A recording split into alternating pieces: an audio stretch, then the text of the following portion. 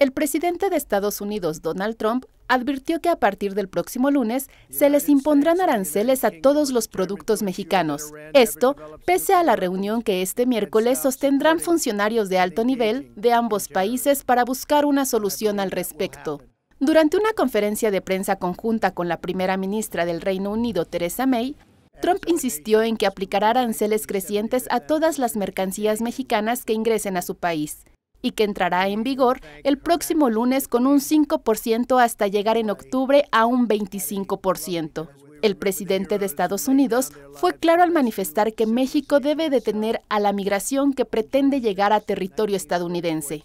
México no debería permitir que millones de personas intenten ingresar a nuestro país y podrían detenerlos muy rápidamente.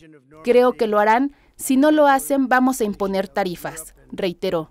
Mientras tanto, legisladores republicanos discuten en el Senado cómo impedir que el presidente imponga aranceles a los productos mexicanos, debido al impacto negativo que tendrá la medida en la economía norteamericana. Notimex.